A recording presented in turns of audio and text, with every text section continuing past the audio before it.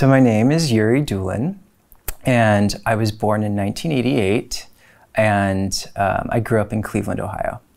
My earliest childhood memories were of South Korea. I was born actually on Loring Air Force Base in Maine, but then really shortly after my birth, my parents moved back to Korea. They lived around Osan Air Force Base in um, Songtan. So my earliest memories are actually of me being with my mom in our house and, you know, walking around the Songtan marketplace, you know, just basically spending time with my mom. Those are my earliest um, childhood memories in Korea. During the 1980s, my dad was stationed in South Korea and he met my mother in uh, a military camp town, so in Songtan near Osan Air Base. Growing up, actually, I didn't have much information about how it was that they met um, because they divorced when I was three years old and my father was not around and my mother was very secretive about her past and didn't like to talk about that time in her life. I think one of the reasons why I later became so interested in history was because it was a way for me to fill in the gaps and blank spaces in that narrative and to try to understand how it was that my mother and father came to know one another um, and how it was that sort of uh, me and you know the other mixed race Koreans that I knew, um, you know, came into existence. So we moved from Korea kind of abruptly because my parents um, decided they were going to get divorced, and my mom had sort of made all of these plans in secret from my father to run away with us um, into the Korean countryside where he could never find us again. Or that's at least his side of the story. So he caught wind of this because she was selling all of the furniture in the house in Songtan, and he got emergency leave to come to um, find us and to take us to the United States. And so he snuck in one night. He says my mom was not home because she was, you know, at some church function or something, and he knew she was going to be gone, and so he he um, came into the house and he told me and my brother to come with him. Yeah, he flew us to the states that night. From his perspective, his side of the story, he says that he did it because he was scared that she was actually going to, you know, run away with us in the Korean countryside and that he would never see us again. And he wanted to make sure that the divorce did happen in the United States. So after that, my father had to go back to Korea, right? It was only a temporary emergency leave. My mother, I think, found out where we were. She had to come to the US um, and find her way there. So she actually went to Michigan, where my emo was living at the time. So she went to her sister's. So we lived in Cleveland, Ohio, with our paternal grandparents, me and my brother, um, until my mom was able to sort of get an apartment together for us and, and find stable work. And I remember after we were reunited with her for the first time, um, after that period, I didn't remember who she was. Um, and my brother turned to me and he said, like, what are you, stupid? Like, that's our mom. You don't know who that, who that is? I think it was just because I was so young, you know, and, and, and it was such a big change. And I think that was actually quite traumatic for my mom. She talks about that time a lot. But so she recalls that time and I think it's very painful for her, but she has a lot of animosity towards um, actually my paternal grandmother.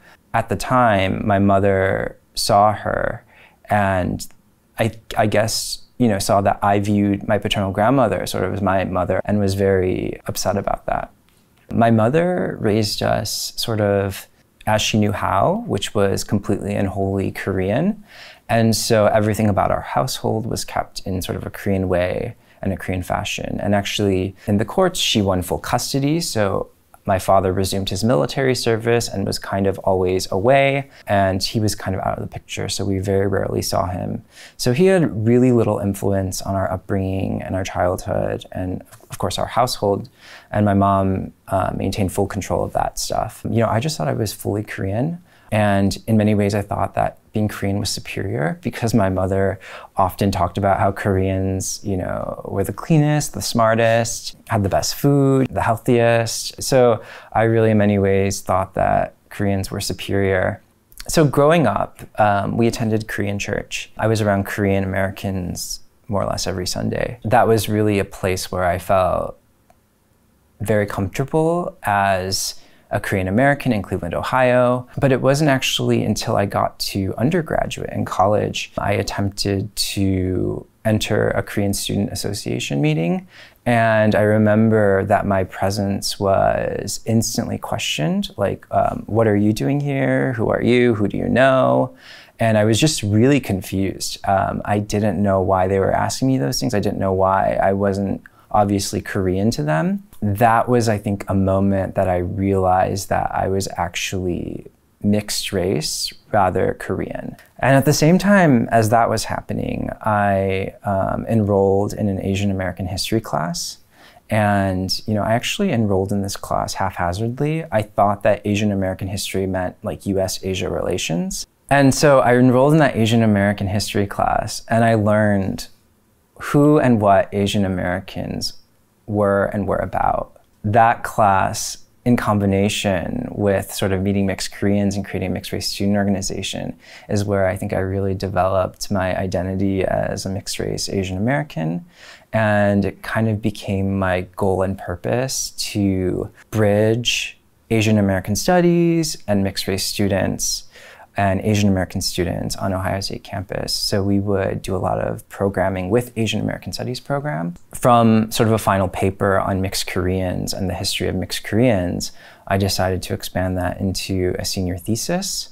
And I went to Korea and I wanted to meet mixed Koreans that were my age who had grown up in Korea. And it was really premised on this personal question of what my life would have been like had I remained in Korea instead of coming to the United States. Um, and I think back to that moment where, you know, my father says, you know, my mother was selling all the belongings in the apartment and she was planning on running away with us in the Korean countryside. And, and sort of he swooped in to take us to Ohio instead, where the divorce happened in the States instead.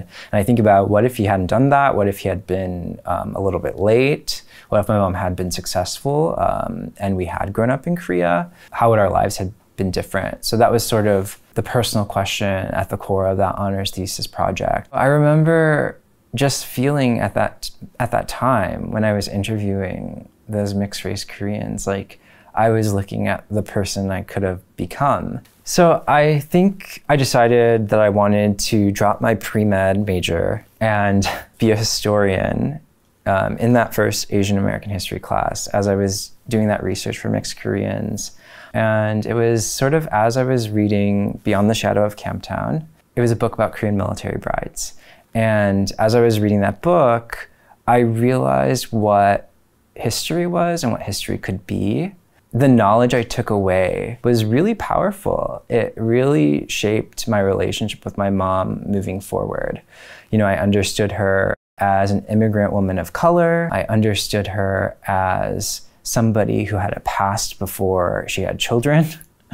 I understood my mother as somebody dealing with the traumas and disappointments of her own life. And I came to terms with all of that and I fully accepted it. That kind of knowledge really improved our relationship immediately. I was more compassionate. I was able to understand where she was coming from. I was able to understand why she was the way she was, why she was doing the things that she had done um, in our childhood. And I wanted to write the book that would do that for some other young person another day in the future. So I started graduate school at Northwestern in 2012. It was in the history department. And fortunately, that year, we had a lot of students of color. I found a really great group at Northwestern that allowed sort of me to bring critical Asian American storytelling to our shows.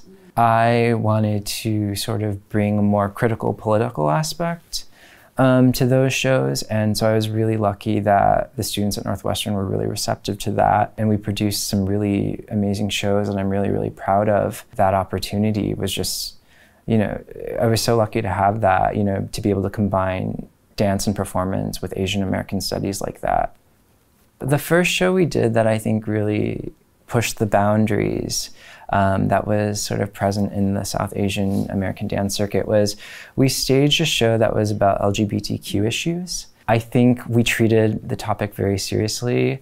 The protagonist was, um, you know, a person who was dealing with this struggle and dealing with the coming out process with an immigrant parent. And of course, I drew from my own personal experiences in sort of writing that character and the script for that character.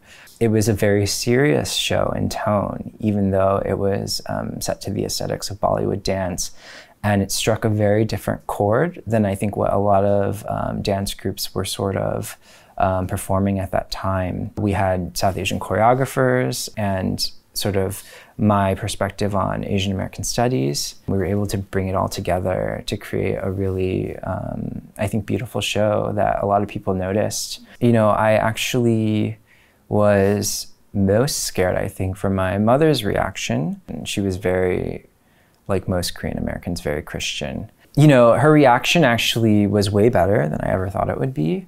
Um, she was very upset, but she did let me know, like immediately, that I was her son and she loved me and that would never change. But she kind of talked about it as if it was a big problem that we were going to deal with. And so um, over time, I think she, um, I mean, I think it's still a work in prog progress to be, you know, quite honest. Um, I think it's hard for her. She didn't grow up with, you know, seeing gay people out in the open in South Korea. I don't think coming out is really a strategy that they've employed historically. Um, so there's an entirely different culture of being gay and what coming out means in the United States. Her solution was, you know, just to marry anyway, that kind of a thing. And yeah, I mean, I try to be patient in in that, but it, it's hard. It is hard sometimes. I feel like I've tried so hard to understand her um, through my scholarship, my work, you know, my academic inquiry. All of my intellectual, creative pursuits are really, you know, at, at its core about knowing her and about having a Korean mother and what that means and what it meant to have a Korean mother um, growing up in the US, but not only a Korean mother, a Korean mother who was married to a US military personnel, um, a Korean mother who was divorced, and, and because of those reasons is marked a certain way by other Korean Americans and, and, Americans. So, yeah, I think for me it is a little disappointing sometimes, but it's a work in progress. When I approach historical scholarship, I really want to make sure that my work is accessible and that I have not only academic audiences in mind, but students in mind, or people who are searching for answers to questions about their own lives or their own experiences. My current book is about mixed race Koreans who were born in the 1940s and 1950s and who were placed for adoption into American homes. I realized they don't have a lot of answers to questions about how it was they were separated from their Korean mothers. And it's helped me realize the importance of scholarship in my work because if I'm successful, my book will answer a lot of those questions for them. Once we acquire that kind of knowledge, I think it could be really emancipatory and you can really come to have closure and um, appreciation for your life and your experience and feel validated in your experiences. So, doing that kind of work and working with oral history narrators has really, I think, influenced the way that I write and do history. My name is Yuri Doolan, and this is my Korean American story.